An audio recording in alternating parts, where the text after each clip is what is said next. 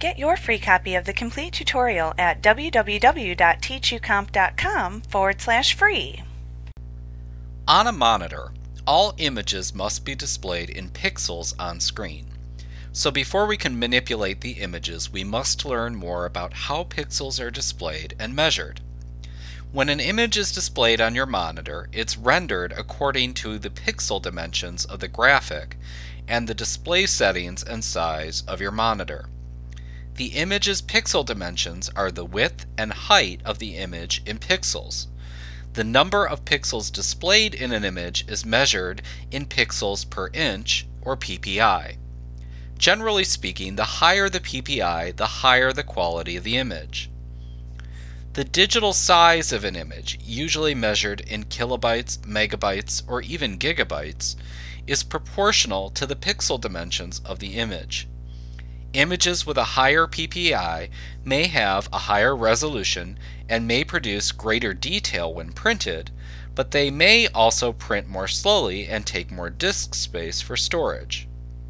Photoshop CS5 supports a maximum pixel dimension setting of 300,000 by 300,000 pixels per image, which is huge. You should be aware that resizing an image to pixel dimensions greater than 30,000 may render the image incompatible with older versions of Photoshop and or other applications. You can make adjustments to the size of an image by using the Image Size dialog box. You can access this dialog box by selecting Image and then Image Size from the menu bar.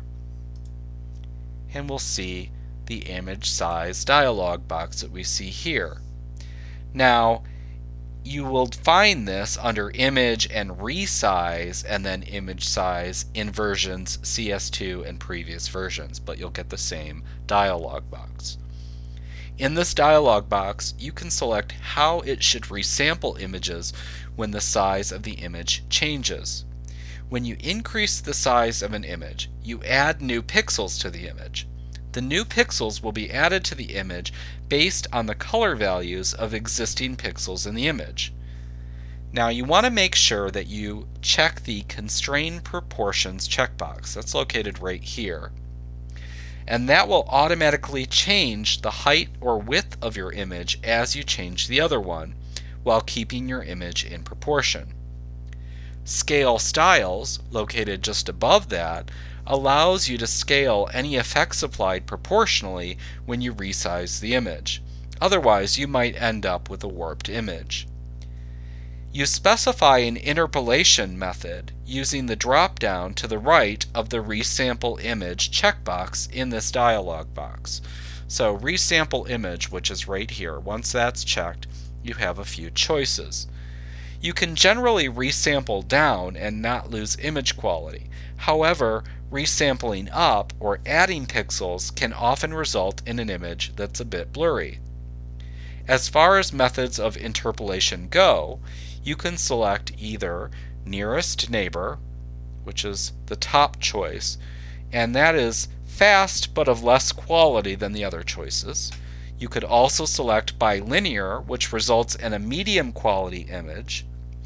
Use bicubic, which is the default, for a slow but more precise method. You can also set the bicubic resampling to favor producing a smoother or sharper image by selecting either bicubic smoother or bicubic sharper. But once you've adjusted all of your settings and perhaps you want to go in here and change the dimensions, say we want to change this to 800 and because we have constrained proportions checked, it automatically adjusts the height and other dimensions. When you have your choices, you select OK and you will change your image size and the resolution accordingly. Like what you see? Pick up your free copy of the complete tutorial at www.teachucomp.com forward slash free.